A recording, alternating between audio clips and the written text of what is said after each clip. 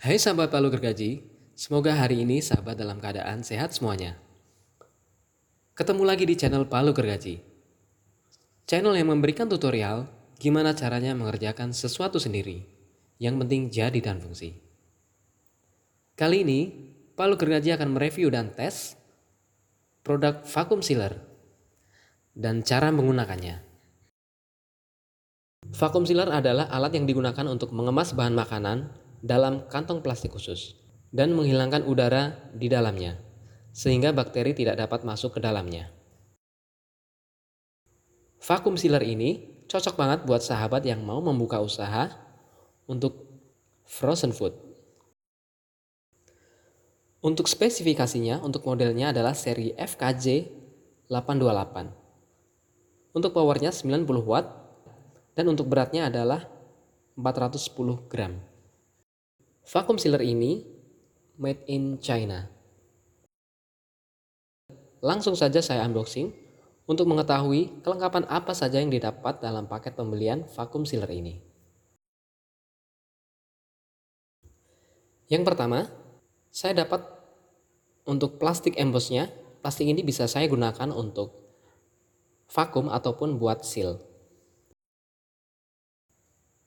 Selanjutnya ada buku petunjuk manual, tapi untuk bahasanya dalam bahasa China. Ini unit dari vacuum sealer model FKJ 828.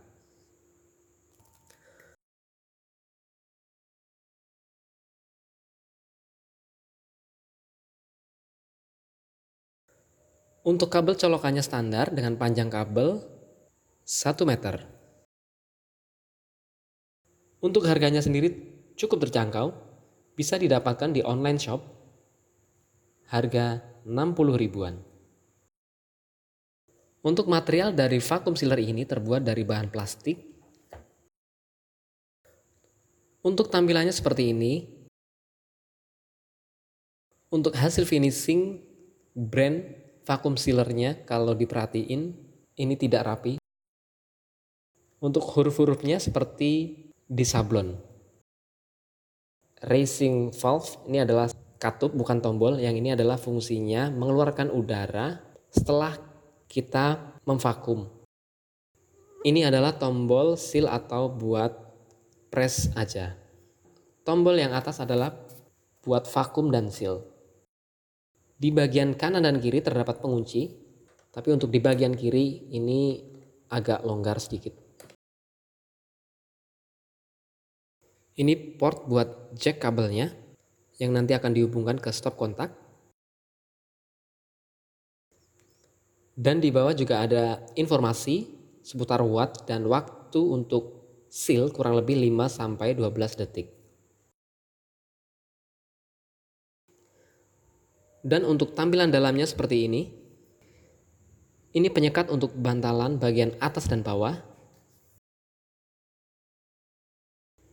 Ini adalah sealernya. Ini adalah bagian dari sealernya yang nantinya untuk press atau buat seal. Terdapat dua penahan di kanan dan kiri yang ini fungsinya sebagai patokan atau penahan plastik supaya mempermudah pada saat seal atau vakum. Dan yang tengah ini adalah nozzle vakum. Ini adalah yang nantinya untuk mengeluarkan udara yang ada di dalam plastik. Di vakumnya lewat nozzle ini. Ini adalah bagian ruang vakum. Terdapat bantalan atas dan bantalan bawah. Untuk sahabat semuanya hati-hati ya, karena button untuk seal dan vakum ternyata mudah lepas. Jadi hati-hati pada saat pemakaian dan jangan sampai jatuh atau hilang.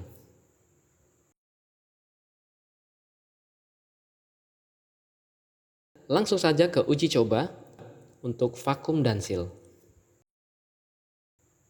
Plastik yang digunakan untuk vakum dan seal ini adalah khusus ya sahabat. Jadi plastiknya ada tekstur embossnya yang ini digunakan khusus untuk vakum dan seal. Untuk bahan percobaan saya menggunakan beras.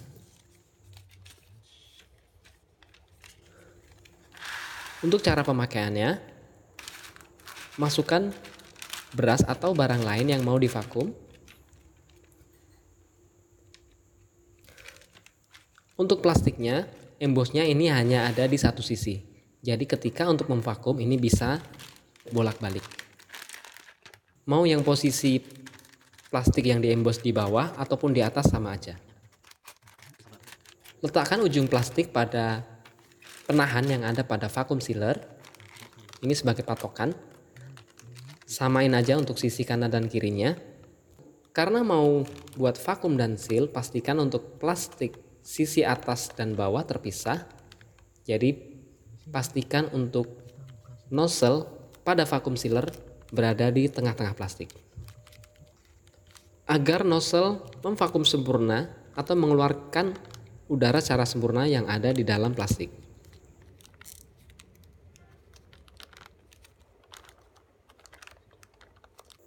Jika sudah dirasa pas, tutup untuk vakum sealernya lalu kemudian kunci bagian kanan dan kiri, tekan tombol yang bagian atas, vakum dan seal, tekan sekali, maka vakum akan secara otomatis mengeluarkan udara yang di dalam plastik. Tunggu sampai tombol vakum dan seal berubah menjadi merah, yang artinya adalah proses untuk seal. Sahabat bisa bantu tekan untuk bagian tutup vakum sealernya agar sealnya lebih sempurna. Tunggu sampai hijau kembali, proses vakum dan seal sudah selesai. Untuk hasil vakum dan seal lumayan bagus, kurang lebih seperti ini. Dan hasil sealnya pun juga rapi. Dan waktu yang digunakan untuk memvakum beras di dalam plastik ini kurang lebih 10 detik. Selanjutnya saya akan uji coba untuk sealnya aja. Untuk bahan sama saya menggunakan beras. Sebenarnya kalau untuk seal plastiknya tidak harus menggunakan yang emboss seperti ini. Menggunakan plastik biasa pun masih bisa. Untuk cara penggunaannya, masukkan beras atau barang yang mau akan disil ke dalam plastik. Lalu kemudian paskan plastik pada tuas penahan yang ada di vakum sealer. Prosesnya sama, pastikan sama untuk sisi kanan dan kirinya. Karena mau buat seal aja, jadi abaikan untuk nozzle vakumnya. Jadi plastik di atas pun tidak masalah. Kemudian tutup dan kunci. Lalu tekan tombol seal Tahan selama 3 detik sampai berubah menjadi merah. Kalau tombol sudah berubah menjadi merah, bantu dorong untuk sealnya agar hasil seal menjadi lebih sempurna. Ketika tombol berubah warna menjadi hijau, artinya seal sudah selesai. Buka pengunci dan plastik sudah tersil. Untuk hasilnya kurang lebih seperti ini lumayan cukup rapi. Jika sahabat suka dengan video ini, jangan lupa like, komen, dan subscribe. Jangan lupa juga nyalakan loncengnya, agar tidak ketinggalan video-video terbaru dari Palu Gergaji. Setelah menggunakan vakum sealer ini, untuk penyimpanannya, dianjurkan menggunakan sekat antara bantalan atas dan yang bawah, agar bantalan ini lebih awet dan tahan lama.